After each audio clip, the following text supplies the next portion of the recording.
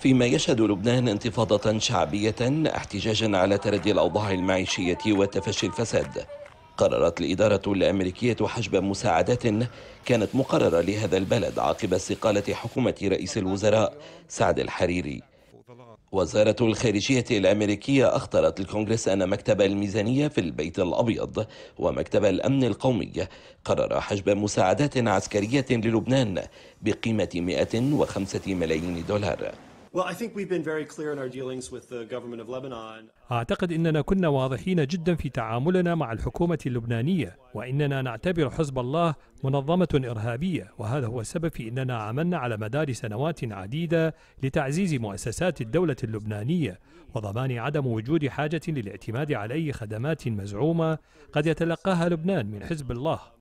لم توضح الخارجية الأمريكية سبب هذه الخطوة إلا أن مقربون من الإدارة الأمريكية أكدوا أن الأخيرة تتخوف أن تصل هذه المساعدات إلى حزب الله وهو أحد أذرع إيران الإرهابية في المنطقة وتعتبره واشنطن منظمة إرهابية فرضت على العديد من أركانه عقوبات كبيرة في الفترة القريبة الماضية. قدمت الولايات المتحدة في المتوسط 70 مليون دولار كمساعدات سنوية للجيش وقوات الأمن اللبنانية وتسعى إلى الضغط على القيادة اللبنانية من أجل تشكيل سريع لحكومة يمكنها أن تسن إصلاحات ملموسة. ندعو السياسيين في لبنان إلى تشكيل حكومة بأسرع وقت ممكن. حكومة جديدة تستجيب لمطالب الشعب دون فرض إملاءات من أي جهة كانت.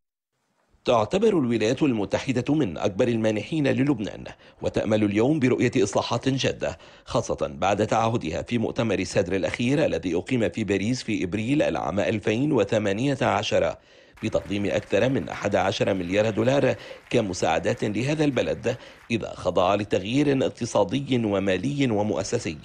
مساعدات قامت بإخطار باريس لاحقا بتجميدها. أعربت الإدارة الأمريكية مرارا عن قلقها من تنامي نفوذ حزب الله الإرهابي في لبنان وانتهاكه للقرار السيادي اللبناني. وانخراطه في صراعات إقليمية بأمر من سادته في طهران ما أدى إلى تجميد العديد من المساعدات. الأخيرة منها يرى مراقبون أنها قد تكون مؤقتة إلى حين اتضاح المشهد السياسي اللبناني الجديد. حسين إبراهيم للإخبارية نيويورك.